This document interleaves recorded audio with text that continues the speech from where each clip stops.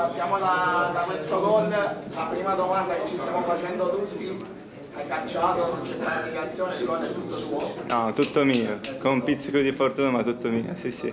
Finalmente diciamo, tutti ti aspettavano, ti aspettavi, eh, questo gol ti aiuterà a sbloccarti anche ancora di più a rendere ancora di più. certo, mi darà, mi darà una spinta in più però adesso tocca continuare di cercare di fare bene e, e basta quello. Giorgio, tu ti senti al 100% adesso, in che condizione stai se devi dare la tua valutazione? Ah, Direi sì, sì, però pronto di giocare dal primo minuto, certo. Complimenti per il gol innanzitutto.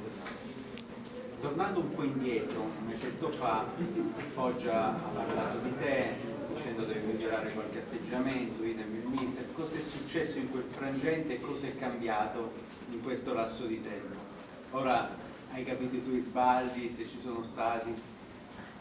No, vabbè, sì, volevo un po' come tutti i giocatori giocare di più, un po' ho sbagliato i modi, ma è finita, è finita lì. Da quel giorno ho cercato di impegnarmi sempre senza, senza parlare, diciamo.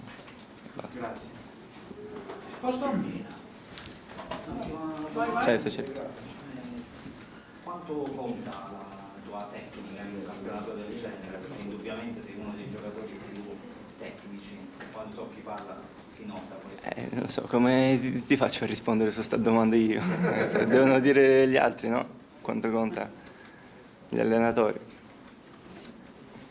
C'è un clima diverso Giorgio rispetto magari anche alla passata stagione, cioè sembrate molto più squadra, oggi a fine partita ti sono venuti tutti quanti ad abbracciare. E credo sia un gesto che magari so, l'anno scorso poteva non succedere, invece quest'anno succede, la forza di questa squadra. Beh, assolutamente, come è giusto che sia, direi, si- siamo primi, quindi eh, ovviamente mo, sono tutti contenti e, e siamo un grande gruppo quest'anno, speriamo di, di portare, di portare tutto questo clima fino, fino alla fine.